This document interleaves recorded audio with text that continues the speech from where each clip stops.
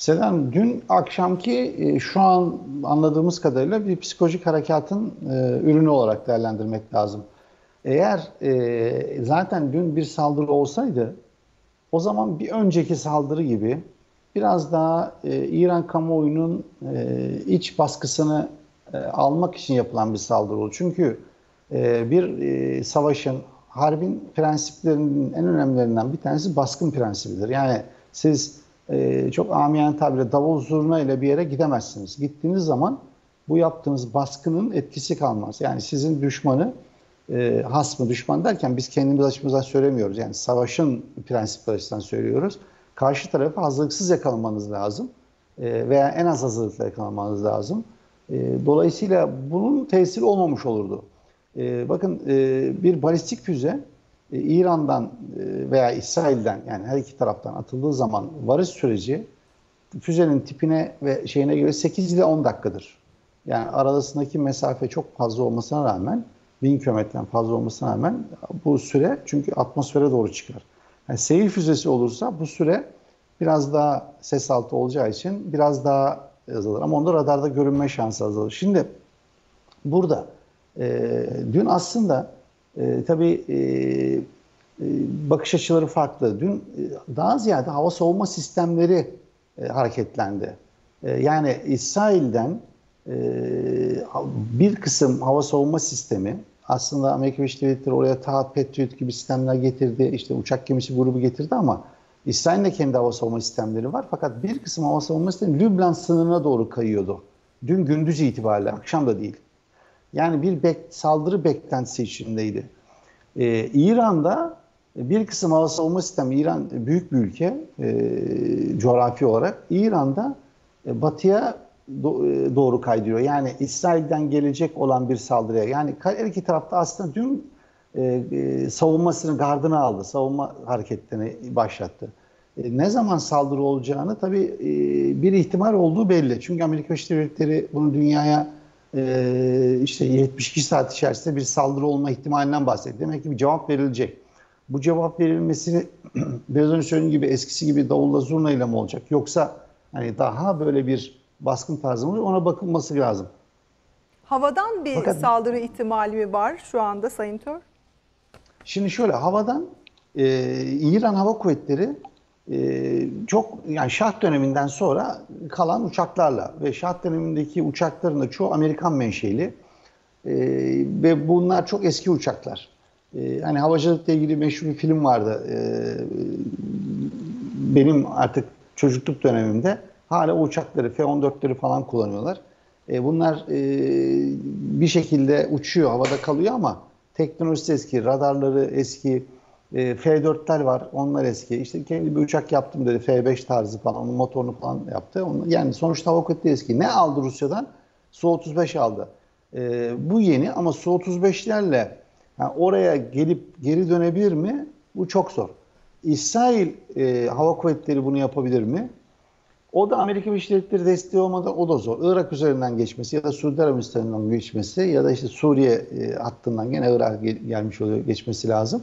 E, o da menzil itibariyle sıkıntı. Havada yakıt ikmali yapması lazım. Bu da e, radar görüntüsü açısından öbür taraf hava savunma sistemlerine haber verir. Sadece şöyle bir şey olabilir hava harekatı anlamında.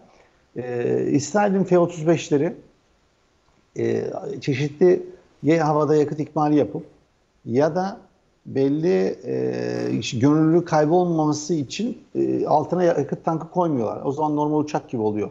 Bazı modifikasyonlar yapılıp belki bir İran'a bir hava saldırısı olabilir. Ama genellikle İran'la İsrail füzeler aracılığıyla e, karşılıklı e, bir mücadeleye girer. Ama konu Seda Hanım acaba İran'la İsrail direkt mi girecek? Bakın bu savaşın başlangıcı olur. Çünkü suikasta bakın hani suikastine İsrail olmayacaktı demiyorum. Sadece ihtimalleri değerlendiriyoruz. Şimdi Haniye suikastını İsrail ben yaptım demiyor. Evet. Onun yaptığı belli. Bütün dünyayı kamuoyu biliyor ama İsrail ben yaptım hem de füzeyle. Hatta bakın o suikaste de e, şöyle açıklamalar çıktı. E, Amerika New York Times üzerinden. E, diyor ki işte bu iki ay önce yerleştirildi. iki ay beklendi falan. Ben bunun doğru olduğunu düşünmüyorum. Yani bir İhtimal... zafiyet ihtimali var mı burada ayrıca öyle iddialar? İstihbarat zafiyeti var. O kesin. İstihbarat zafiyeti var. Onu arz edeceğim. İstihbarat zafiyeti şöyle var. Bakın.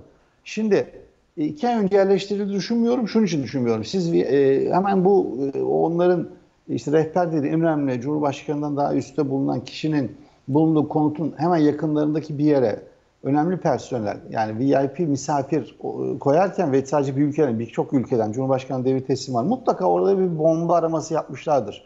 Yani siz içeriye e, eleman devşirmiş ve istihbarat kanalıyla Mossad sızdırmış olabilir mi? Olabilir. Hatta olduğunu da açıklayacağım birazdan. Ama e, bunun siz bomba arama köpeğiyle orada patlayıcı madde bulmamanız mümkün değil. Dünyadaki bütün madde, patlayıcı maddeleri yani herkesi kandırabilirsiniz ama bomba arama köpeğini kandıramazsınız. Bomba arama köpeği orada dolaştığı anda bırakın dolaşmayı daha binanın içine girer girmez oradaki patlayıcının kokusunu 500 e, metreden alır ve sahibi şeye bakıcısına bildirir ve orada bomba arama sebebi. Yani bunu da yapmadıklarını düşünmüyorum. Yani netice itibariyle. Dolayısıyla ben onun bir aldatma olduğunu, asıl saldırının büyük ihtimalle ya bir insan hava aracının e, yaklaşık bir Hellfire füzesi attı. Hatta o insan hava aracı da başka bir uçaktan atılmış olabilir. Ya da e, bir F-15, düzeltiyorum, F-35 uçağının Irak sınırına doğru yaklaşıp oradan e, a, e, patlayıcı gücü azaltılmış bir balistik füzeyle vurmuş olur. Çünkü görgü tanıklarına şöyle ifadeler Hangi ülkeden gelmiş olabilir? Çok özür dilerim. Bu, bu iddialarda Azerbaycan'ın adı geçti. Yani inanılmaz e, ben, iddialar ortaya atıldı. Bakın bu da bu da bence Azerba e, bu da e, Azerbaycan'ı zor durumda bırakmak için yapılan bir hamle e, ve İran'la e, Türkiye'nin İran'la Azerbaycan'ın savaşmasını isteyen bazı küresel güçler var. Azerbaycan'ın ben böyle bir şey yapacağını düşünmüyorum. E, değerlendirmiyorum. Ama bunun bir kışkırtma, biraz önce söylediğim gibi işte o odaya iki ay önce sızıp patlatan koyan mantısının mantığıyla Azerbaycan'dan atıldığını. Bakın ee, Irak sınırına gelen bir e, İsrail F-35'i patlayıcısı azaltılmış bir e, füzeyle, bir LoRa füzesiyle bunu yapabilir. Çünkü görgü tanıkları şunu diyor. E, daha diyor füze vurmadan ki füze vurduğuna dair açıklamalar da yaptı İran. Füze vurmadan ses hızından üstün olduğu için, üstte olduğu için e, pencereler kırıl diyor. Hatta o vurulan e, binanın hemen e, odanın yanındaki sağındaki pencerede kırıklar var. Ama sol tarafında yok içeriden bir patlama olsa da binanın üst tarafına yanık ve deformasyon olurdu çatısında. Öyle bir şey yok. Demek ki bir füze e, girmiş ama o füze biraz söylediğim gibi küçük çaplı füze olabilir, patlayıcısı azaltılmış büyük çaplı füze olabilir. Ayrı bir şey. Bu benim kendi değerlendirmem. İleride bunun ne olduğunu anlayacağız. Bakın bunun önemli bir soru. Eğer siz biraz önce söylediğiniz hava kuvvetleri açısından bir şey dediniz ya, eğer siz İsrail olsanız e, ve ülke isim vermeyelim. Siz A, e, A ülkesi, B ülkesi. A ülkesi olduğunuz bir saldırı yaptınız benzer bir saldırıyı iki ülke arası savaşta yapacaksınız. Yani diyelim ki İran'ın nükleer tesislerine bir ülke gelecek, e, e, görünmez az olan uçaklarla yaklaşıp saldırıda bulunmaya çalışacak. Bunu deşifre olmasını ister misiniz? İstemezsiniz. Tabii dersiniz ki bak e, buradan atıldı, şu ülke attı, işte şurada patlayıcı koyduk. Yani böyle yangını büyütür kendiniz... dediğiniz gibi. Tabii kesinlikle. Dolayısıyla bir aldatma anlamında bunu böyle söylediğini değerlendirebiliriz. Ee, şimdi burada e, tabii konu şuraya geliyor aslında. İran'ın istediği, daha doğrusu İsrail'den başlayalım. Netanyahu'nun istediği İran'ı ve vekillerini sahaya çekmek ve Amerika Birleşik Devletleri arkasındayken bu e, Amerika Birleşik Devletleri müttefiklerinin de hava gücüyle, kendisi İsrail hava gücü de oldukça iyi, e, e etrafındaki tehdidi bertaraf etmek. Amerika Birleşik Devletleri 2030'larda e, uzak doğuya gitmeden önce burayı şekillendirmek. Terör örgütleri PKK bununla ilgili, e, bu işte İdlib'deki konular bununla ilgili, bu Arap Baharı dediğimiz, e, Arap isyan dediğimiz konu bununla ilgili, birçok konu bununla ilgili. Ama e, İsrail'in sahaya çekmek istediği İran diyor ki ben diyor vekiller üzerinden savaşmak istiyorum diyor. Yani İran'la savaşmak istemiyor. Kendi ülkemiz nedir vekiller? Suriye'deki İran yanlısı gruplar.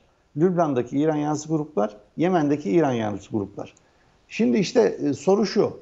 İran'dan bir cevap verecek. Kırmızı bayrak çekilmiş. Tamam. intikam alacaklar. Evet tamam bunu anladık. İran'dan bir füzeyle atılacak. Bu işte biraz önce söylediğim sizin senaryoya geliyor. Yani İsrail-İran savaşı mı olacak? Tabii karşılıklı müttefikleriyle ve vekilleriyle. Yoksa İran cevabını Yemen, Lübnan üzerinden atıp çünkü oralarda da yani Hizbullah İran yalnız olabilir. Evet, Hizbullah üzerinden bir cevap verecek. Ee, biraz önce söylediğim o birlik kaydırmaları e, sanki Lübnan üzerinden cevap verecek gibi bir emaresi var. Ama harbin tabii baskın prensibi dedik ya yani farklı bir şey de olabilir. Ben şu an yüzde yüz şöyle olacak demek istemiyorum. E, yanıltıcı ve bilmediğimiz, kimsenin de bilmediği bir bilgiyi e, yanlış vermemek adına. Ama İran bence büyük ihtimalle Lübnan üzerinden e, veya işte Yemen üzerinden daha önce attığı füzelerden daha yüksek teknoloji füzeyle, daha üst düzey füzeyle, seyir füzesi olur, balistik füze. Özellikle Lübnan'dan balistik olmaz da seyir olur ama e, diğer taraftan olabilir. Yemen'den e, balistik olabilir. Bu füzelerle mütekabiliyet anlamında. Çünkü diyor ki 51. maddeye e, açıklamalarında 51. maddenin meşru müdafaa hakkını elde tuttuğunu söylüyor.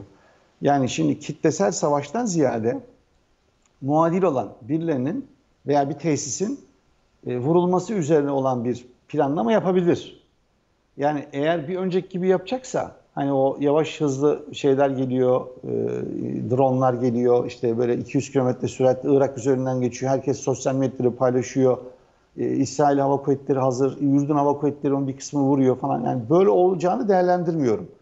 Daha düşük ölçekli ama daha e, yüksek teknolojili, süratli bir saldırıyla e, belli merkez veya kişileri etkisiz hale getirmeye çalışacaktır diye değerlendiriyorum.